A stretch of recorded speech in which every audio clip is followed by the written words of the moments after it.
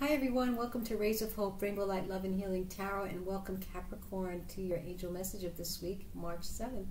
Thank you for being here and thank you for returning. And please don't forget to subscribe if you haven't yet. And those of you who have just arrived, we do angel messages every week and love readings every 12 days. So thank you for being here. I'm new on the circuit, so it would be great for you to help me build my channel, subscribe, share, comment, and like. Awesome. Anyway, um, so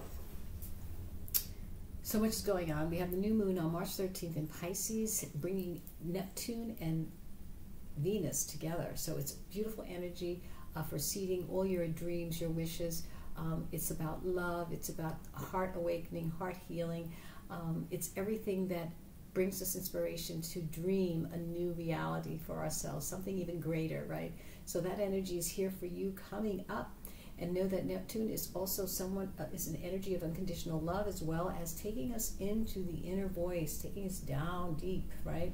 And know that um, know that there's sacrifices sometimes made in love, and know that everything that's going on is on every level of love, not just relational love, but it, well, relationships on all types of relationships, whether it's co-workers, family, friends, yourself, and even money. So uh, please use that energy to seed, so that in the full moon, um, you'll see something manifest, Capricorn, right? And you know this. You are the, you know, the mystic here, so you know all about the cycles of energy um, in the moon.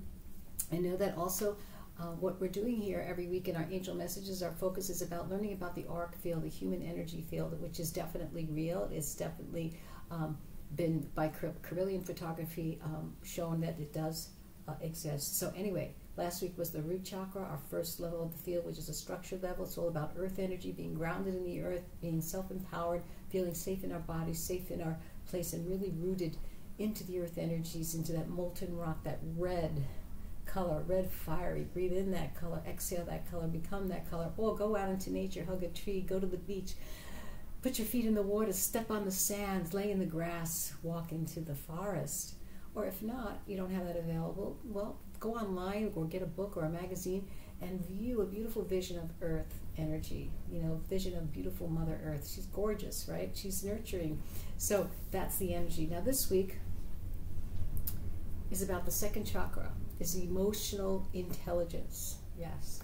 And it is a fluid field. It's not solid.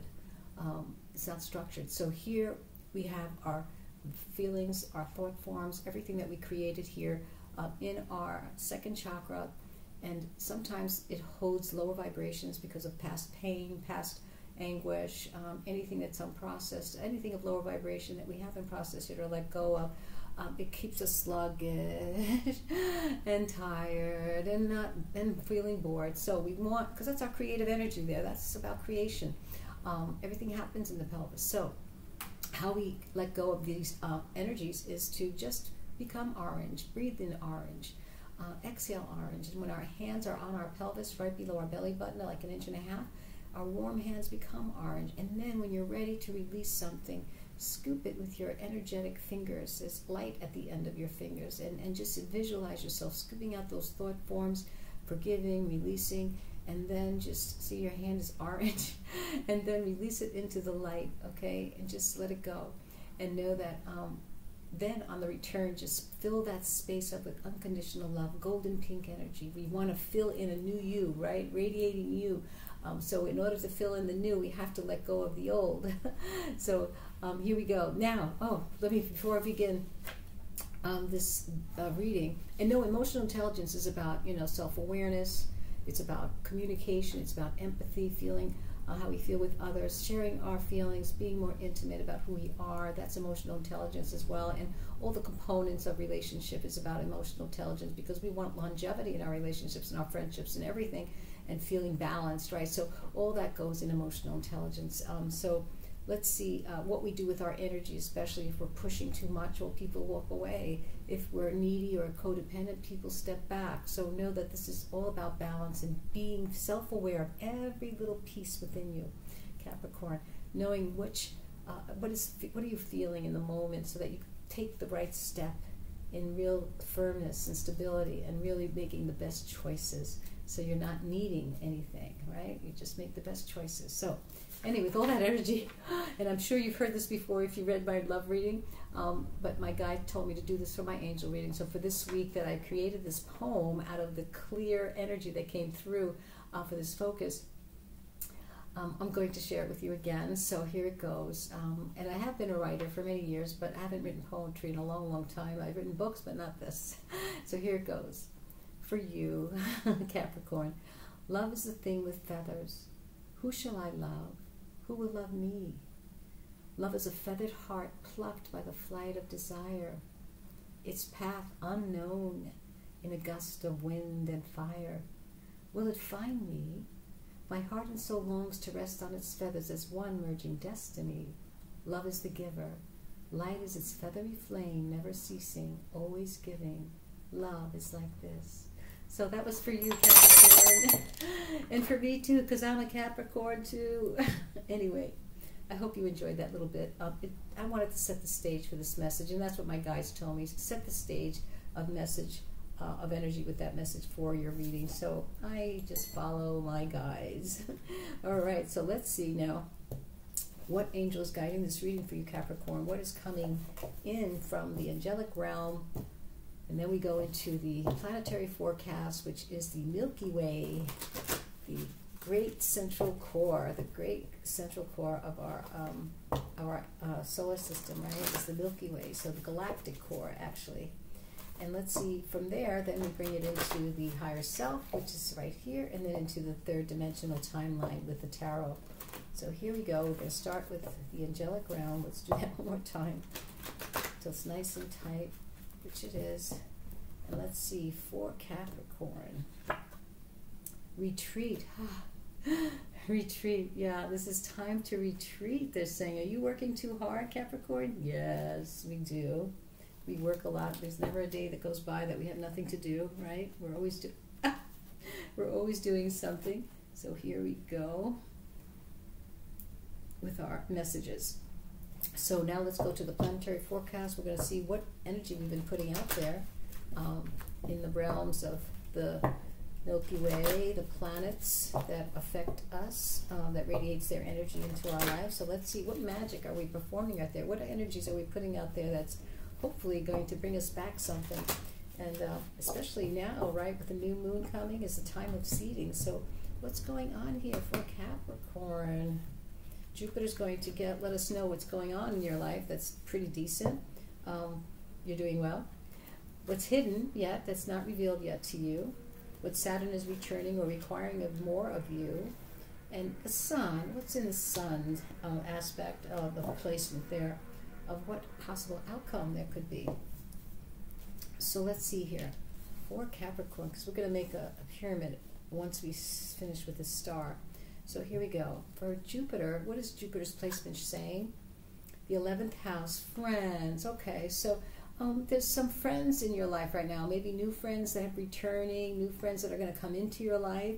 You're making new acquaintances. Um, you know, people, when you change your energy and radiate differently, you are radiating new type of people in your life. So this is definitely happening. This is a good thing. 11th house, lots of um, wonderful changes will happen from meeting new people. So what is in the moon placement that's not revealed yet to you? Ah, the earth element, yeah, money. stability. So just keep on doing what you're doing, uh, Capricorn. You know that you're sending out really good good energy out there, and it's only going to bring back the stability. But it's not ready yet to come back into your presence, okay?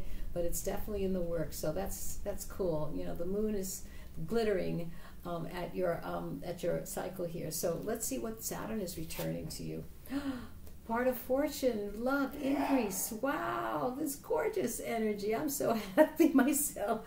So all the hard work we're doing, meeting new people, making new connections, networking, um, is definitely um, is definitely going to bring us this beautiful um, stability um, of earth elements, strong. Um, pros- prosperity and luck, fortune. Oh my goodness, this is beautiful. I'm so happy. Increase, yay! And what's the outcome? Well, let's see what the sun is going to show us. Healing, yes, oh, I love that. So this is all positive. All this energy here between uh, new acquaintances, friends, networking, uh, stability, prosperity that's coming in, great fortune. This is going to heal your life. Um, This is going to heal your, your presence, your past, and retreat is finally going to be here for you as well. You're going to rest in this prosperity. So let's see what your higher self is going to be telling you about um, what's going on here as well. So a lot of good things have been happening here. A lot of good energy has been putting out there. So let's see what else is going on here for you, Capricorn, um, in your daily uh, cycle. And you know, everything we do and breathe and say and express goes out into the ethers, into the zero point field or the morphogenic field, you want to call it, or the universal field. It's the void, and it's our laboratory where we create and we put it out there, and it comes back to us. It's magic. We are magical personalities, everyone. We love magic, right? So here we go. What is our higher self adding to this um, energy that's coming in, trickling in? You are currently under construction. Please be patient. Yay! so with our friends and our networks, we're definitely, re definitely uh, changing a lot of things. Uh, we're under construction, networking, uh, electrical. I feel. I feel it's more electrical, more kind of um, exchanging and and really sharing and, and being supported by new friends that are going to take us places into new places of us. So, despite the frustration, you're on your way to making all your dreams come true. It's right over the stability of the earth element, our prosperity. Yes, it's coming. How wonderful. Uh, we work so hard. okay, and let's see what Saturn is returning to us. It's returning us more fortune. Don't fear a blank canvas. Use it to turn your life into a masterpiece. Yeah, so maybe we don't know what we're going to do with all this fortune yet. We don't know, but even if it's blank, let it be for a while. Retreat in it and let it you know let it sit for a while until we create this wonderful masterpiece of our, our, our life right? Because if we don't know what we're going to do sometimes we'll say oh my god now we're going to do all this right? But don't fear. Retreat. Rest in the thoughts and the feelings and the it will unfold. I always notice that whenever i want an idea or something or an answer to something if I just wait a few minutes, even a half a day, all of a sudden it unfolds. Like I never know what I'm going to do in this focus, and all of a sudden it just clicks. Anyway, what else? What else, higher self? If you need to break the rules, do it with conviction to make a difference. So in healing here, you may be retreating um, in a healing modality that's different than, than what you're used to. So don't worry if you're breaking um, the rules or breaking a pattern. Yeah, do something different you know that's okay um, and do it with conviction like you really mean it because sometimes when we're making changes go i don't know give it all your effort okay? Give it all your effort and, and make the difference um, even if it's uh, something that you, you need to break a, a, bad habit or you need to break a way that you've been doing something um, that you've always done and you say oh i'm never going to break those rules Oh, yes, we will. so let's see. Now we're going into the third dimensional plane, the 3D timeline here in our present moment in the now with the um, this oracle of visions. Let's see what energy is guiding this three dimensional timeline for us, Capricorns. okay, here we go. So stay with me. Ah, this is the fear of the unknown. Okay, so we're not we're not knowing everything. Okay, so sometimes when we're in the unknown and the unknowable, we kind of um, oh wait a second, there was a card missing. Oh, we have to do it over again. I didn't. That was from the previous reading. I'm so sorry, Capricorn. Um, let's redo that. Um, but then again, you know, we could have used that card too. But no, it's, it's best to shuffle all of them together. It makes a difference to me um, doesn't make sense not to. So let's just reshuffle this. And let's see what energy is guiding this 3D timeline for Capricorn.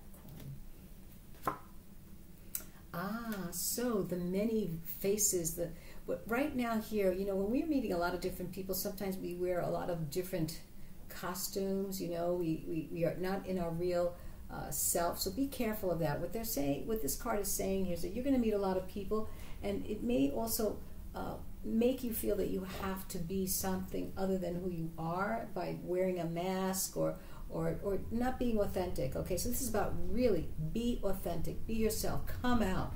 Don't be afraid to be who you are. You don't want to wear these masks anymore. You don't want to be anyone to please anybody. You know, maybe you've been famous before or something, or maybe not, and and people see you make a choice or a different political move, or oh no, no, no, we don't like you anymore. No, you be yourself. You do whatever it is that, that makes you feel yourself. Don't be in a mask and don't um, be afraid to be you and make the decisions that feel right for you and not to be pleasing the crowd. You're not a crowd pleaser. You know, that's not what we do. We want to be authentic, and that's what it's saying. Be authentic right now because that's what's going to make the difference in all these dreams. Despite the frustration, you're on your way to making all your dreams come true. Your masterpiece, this blank canvas, is going to become a masterpiece. Yes, and all this is going to be amazing. You're under construction. Yes, all this connection with new people in your life, new friends are going to help you network and be much more um, radiating. So let's see what's in the tarot in the timeline here for you, Capricorn. What is going on in the three-dimensional timeline here with the tarot? Let's see. Let's see what's going on. One more shuffle, and then we will lay out the cards and create our pyramid. So for Capricorn, where are you in the physical? Where are you in the challenge? What seeded this? What's in the emotional body? Let's move this up what is in the mental body, okay, what is in the heart, what is needed to be surrendered or surrendered to, and what is the outcome. And so here is our little pyramid. anyway, it is a pyramid in my eyes. Okay, so here we go. So, where are you, Capricorn, in the physical? You're in the Knight of Wands. You're very ambitious. You have a lot of drive here, a lot of energy to really, really move forward. Um, you know, you have great ideas, great imagination, great vision.